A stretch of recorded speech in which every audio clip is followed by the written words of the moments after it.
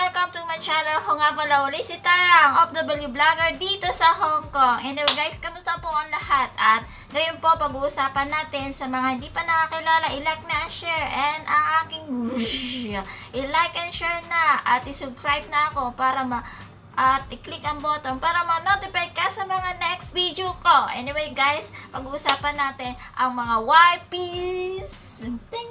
YPs nga ba kung bakit ako ah, pumasok sa isang YouTuber?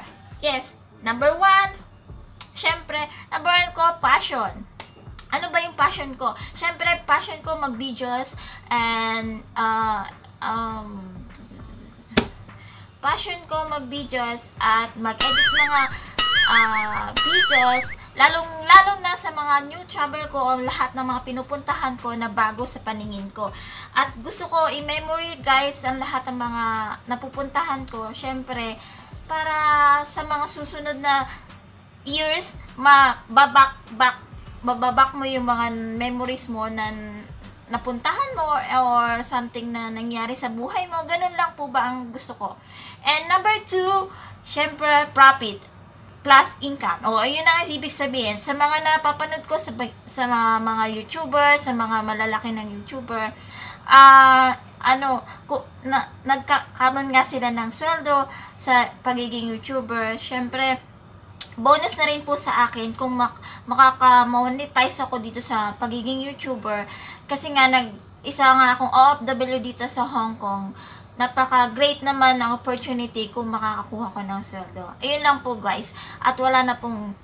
Anyway guys, number 3 po.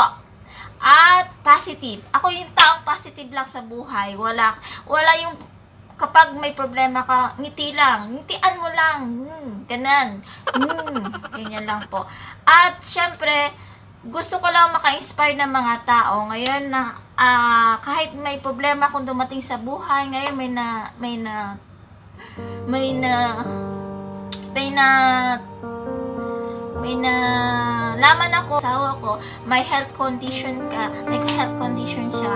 Uh, may kailangan lang siyang gawin sa kanyang buong kata uh, sa kanyang katawan. Pero ang ang ginagawa ko lang para sa ngayon I always pray na that God is the provider and positive lang at alam ko gagaling at gagaling siya.